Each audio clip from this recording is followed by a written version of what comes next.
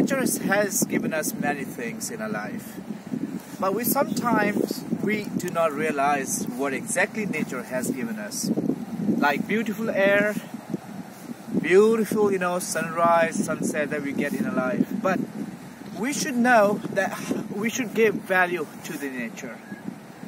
I still remember Hitler once said, if you are standing in a room full of light, everybody can see you and you can see everyone.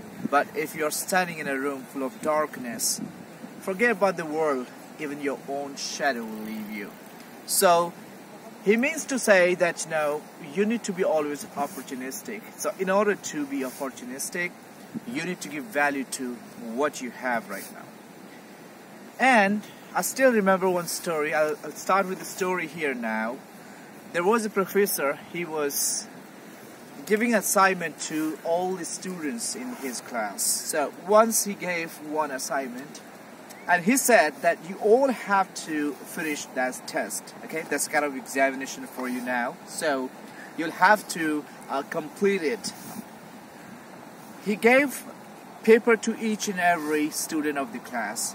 So the time all the students they saw their paper, they realized there was nothing. The paper was blank, absolutely blank, and there was only a dot, single dot in that.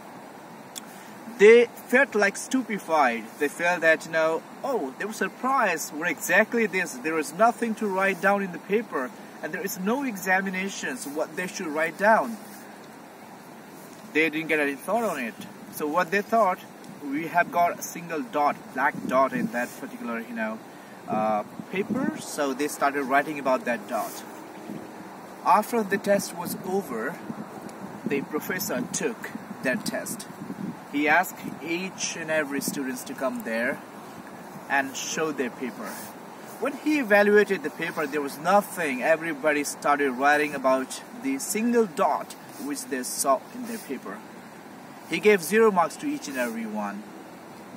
So he he explained to all the students later on that you know while going through the paper you just came to know about only one dot. You saw one dot. Just because of that you started writing about that dot. But you didn't realize the whole paper is a white paper. You never thought about that white paper. So this is what uh, guys I, I, I want to make you realize. We should not bother about something a single dot in your life. What we do in our life is we bother too much about the dots we have, like hatred, like you know, uh, uh, frustration, negativity around. So we bother about that. You need to understand that's just a small dot which has no value in the white paper. Whiteness is a symbol of love, compassion. You have a beautiful family, you have a beautiful house, you have love, you have positive mental attitude why you shouldn't be bothering too much about that rather focusing on the single dot that you see on the paper.